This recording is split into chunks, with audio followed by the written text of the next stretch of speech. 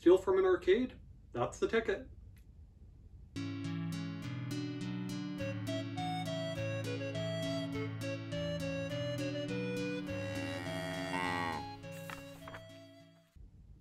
Hi everyone, I'm Jacob, I'm the Cow Hat Librarian, and I've got a good one tonight.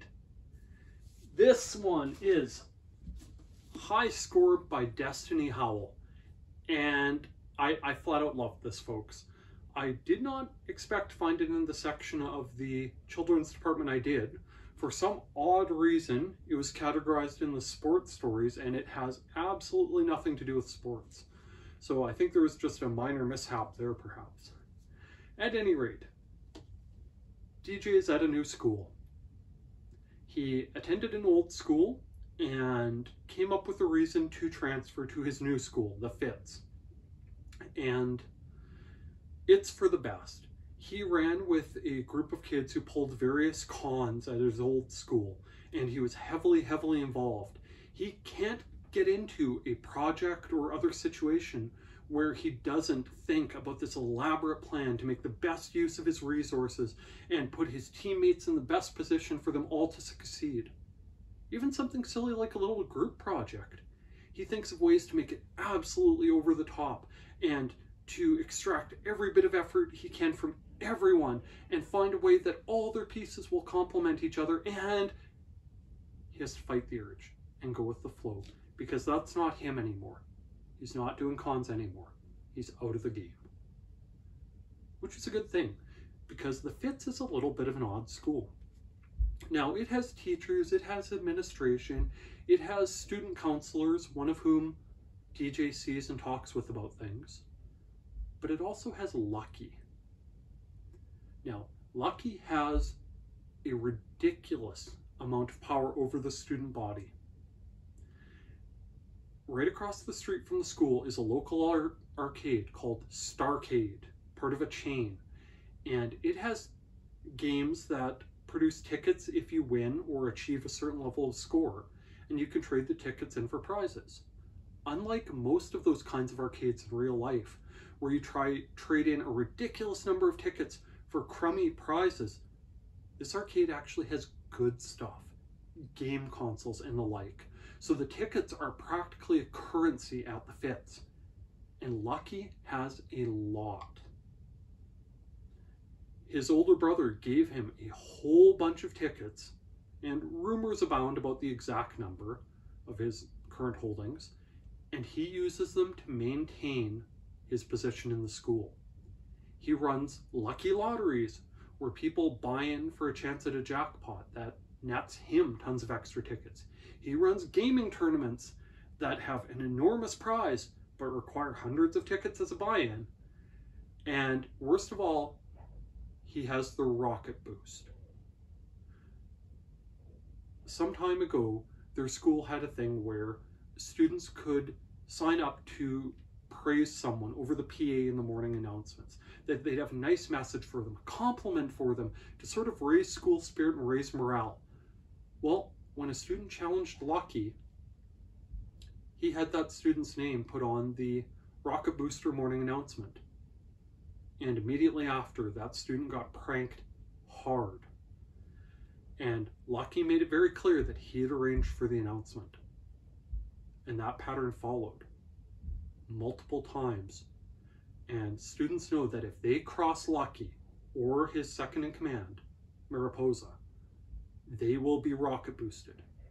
And to protect themselves, other students at the school absolutely shun anyone who's been rocket boosted because they don't want to be a target for Lucky. So this is the school DJ's at. And it's going fine so far. He's staying out of the game. He's staying out of Lucky's way. Well, then it falls apart. Connor transfers to the school and he was part of DJ's old crew. And he immediately starts asking DJ about the games there and what type cons they could pull there and all these things. And DJ warns him about Lucky and to stay away from him. And Connor doesn't listen. He cheats in a gaming tournament run by Lucky and his second in command. And it's obvious cheating. And Lucky reaches out to DJ and gives him a choice. Either he can go do his thing and raise 100,000 tickets in just a few days, or Connor will get rocket boosted. So DJ is left to plan a heist. He doesn't have most of his old crew, he just has himself and Connor, and Connor is a little bit reckless, as shown by his approach to Lucky. But then he starts finding unexpected allies. A girl from the drama club, Audrey, is the perfect face for their operation.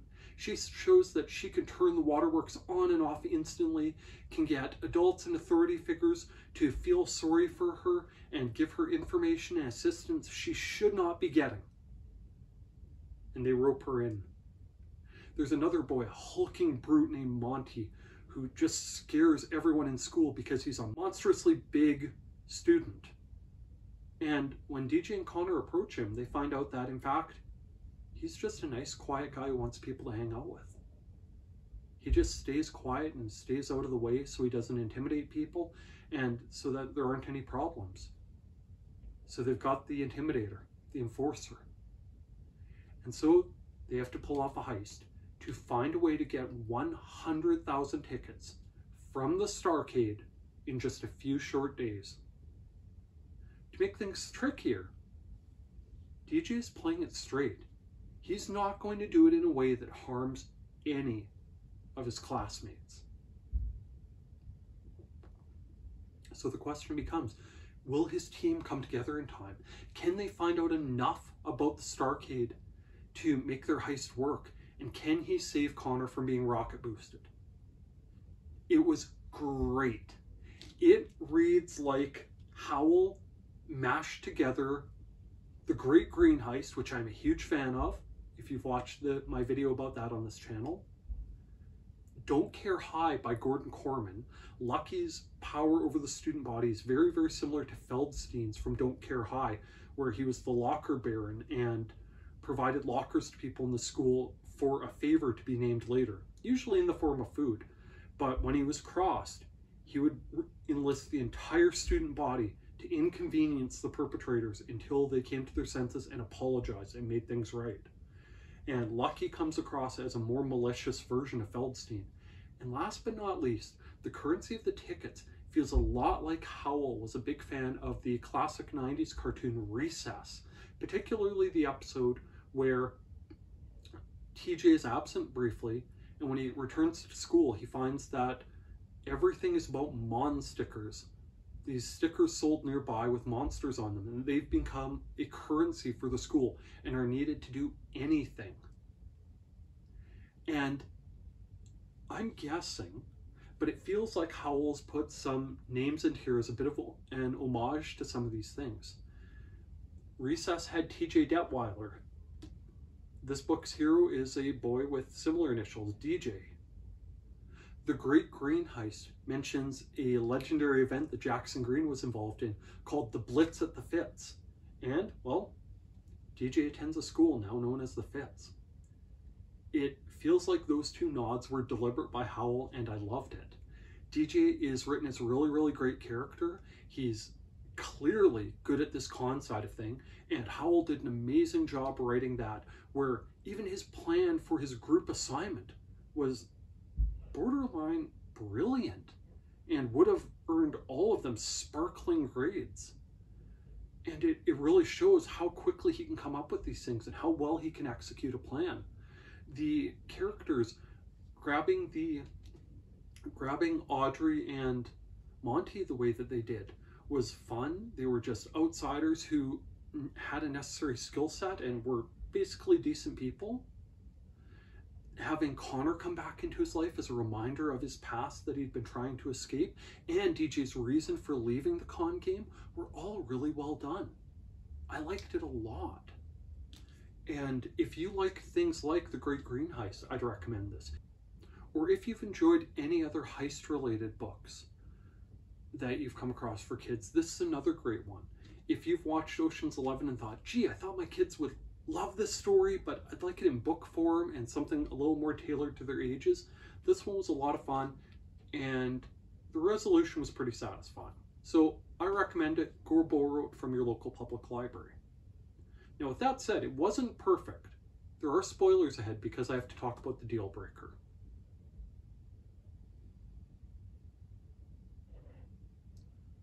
The deal breaker is simply this. While it was relatively well written and understandable, Lucky's position seems a little over the top. The tickets as currency was a neat thing. I could see that happening. I could see a student with a lot of tickets having some extra pull at the school. But the extent to which he's feared by the student body and that there's never any repercussions from admin when the entire student body knows that he's behind the rocket boosters and that he's gambling at school and so on that really surprises me that his power there is so huge, but it's so one dimensional. It feels like something should have happened to topple his game long before now. And in fact, at the end of the book, obviously DJ and his friends do pull off the heist. And I, I again have to give Howell credit for this. It was really well written because DJ was doing all this stuff to go through the heist how they planned and then when it falls apart, you find out that, in fact, they'd faked a lot of it to keep people distracted while the others went through the back door of a bakery nearby to go look in the garbage. So it was very, very much in the vein of heist movies and stuff where it looks like they failed until the camera pans away to see that, in fact, it was a success. It was great. The final part where DJ is paying off Lucky but warning him to not mess with him because he knows a trick to win at games and he will win tons of tickets and give them away and just destroy the value of them in their school by causing ticket inflation that it would take down Lucky's little empire. That was a really, really clever discussion and it felt very, very realistic. If Lucky's power in that school is so dependent on those tickets, and DJ has a way to get a bunch and just give them away. It felt like a very real threat. And they'd already built up the idea that Lucky knew DJ could do things beyond an average student. So that was really, really one, well done too. And last but not least, Howell left the door open for a sequel in a very, very fun way, in that the counselor DJ had been talking to comes to him for help because a student is getting into trouble with Lucky. I liked it. It took a lot of ingredients from books that I'm quite fond of and mixed them together in a very, very appealing way. The, the only other gripe I have is that aside from the conventional heist side of things, where it looks like the heist is going south and then it's revealed that they did it, but a different way through the art of misdirection. It felt like there should have been a breakdown between the characters prior to that. That there should have been a personal breakdown between DJ and Audrey, or between DJ and Connor, or DJ and Monty. And that felt a little bit like it was missing. Like there should have been something to break up their team for a little bit or cause them to lose trust in each other. And it just wasn't there. And it, for me, it felt like it was lacking a tiny bit as a result. But to be fair, an average reader reading this, you know, someone in grade four or five ish reading this, they probably won't notice. And they'll probably enjoy the heck out of it. So, head to your local public library and go borrow it for that someone in your life. They won't regret it and neither will you. Now, while I'm speaking about public libraries, if by some chance you use and appreciate the services offered by your public library, why not take just one minute and tell the powers that be exactly that? Tell your mayor, tell your council members, tell your MP or MLA that you use and support your local public libraries. We're at a time where some public libraries aren't receiving adequate funding that will allow them to continue to improve the services and programs and materials they offer. And a few good words in the right ears might make a world of difference. And if by some chance you are a library staff member watching this, Don't forget that watching my videos counts as professional development time. With that, thanks for listening to me gush. Thank you for taking a trip down memory lane to Don't Care High and Recess. By all means, please like, please subscribe, and please check back and see what else I have to talk about from the Cow Hat Library. Thank you. Bye now.